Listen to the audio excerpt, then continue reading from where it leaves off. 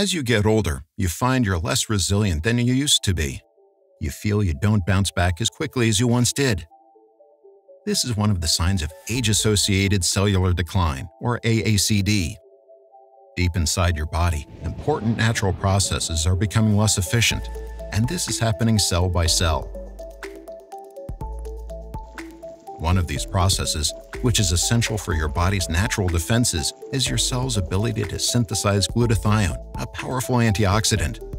Glutathione is made of a combination of three amino acids cysteine, glycine, and glutamic acid that works to neutralize and remove harmful free radicals and toxins from your cells.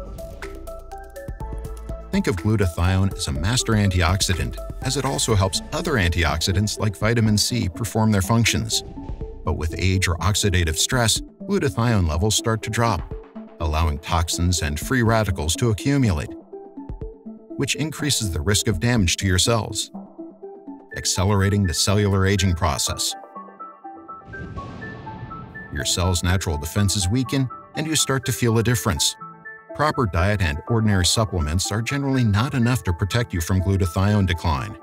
That is why scientists are investigating specialized cellular nutrients that can help replenish glutathione for cell protection. To learn more about age-associated cellular decline, please visit www.myAACD.org.